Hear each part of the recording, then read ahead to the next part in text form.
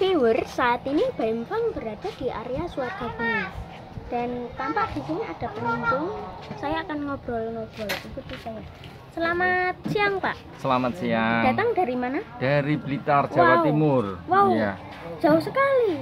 Iya, lumayan cukup jauh. Kan makam sang proklamator itu di Blitar ya? Betul. Iya, makam Insinyur Soekarno, Presiden RI yang pertama ada di Blitar. Hmm. Ya, mungkin nanti yang teman-teman ataupun yang lain mau ziarah ke makam Bung Karno, monggo nanti eh, ke Blitar. Datang ke Suarga Bumi ini sudah kapan? Baru tadi pagi dan kami melihat dari Facebook ataupun ini ya dari internet dan sebagainya itu Instagram?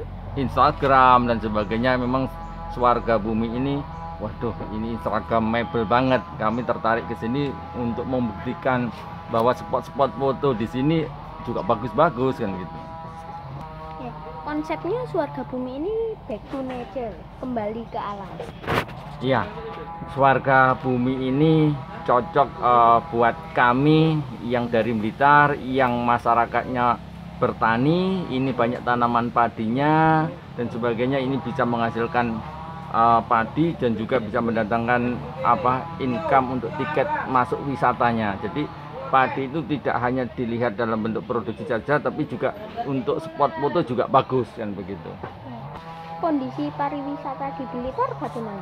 Untuk saat ini semuanya pasti uh, wisata di mana pun terkait dengan pandemi COVID-19 ini punya dampak yang luar biasa. Jadi untuk sementara masih ada yang uh, mulai buka, ada yang masih ragu-ragu untuk tetap ditutup. Tapi untuk di Blitar ini, karena Blitar ini wilayahnya adalah di pesisir selatan, di Blitar ini banyak pantai, pantai selatannya juga kita punya, Gunung Kelut kita juga punya, kemudian eh, yang makam Bung Karno juga kita punya. Jadi lengkap lah untuk Blitar ini. Jadi eh, monggo nanti siapa pun yang mau datang ke Blitar, mau untuk wisata apa pun religi ada, yang dari pantai juga ada, dari alam juga ada.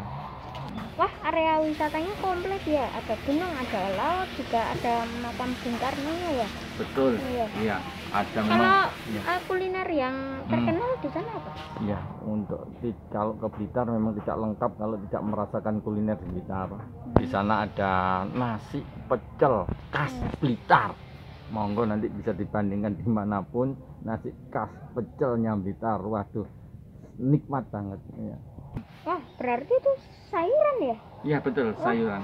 Itu kesukaan saya itu. Wah, iya makanya nanti kapan-kapan datang ke Blitar untuk menikmati pecel khas Blitar itu ya.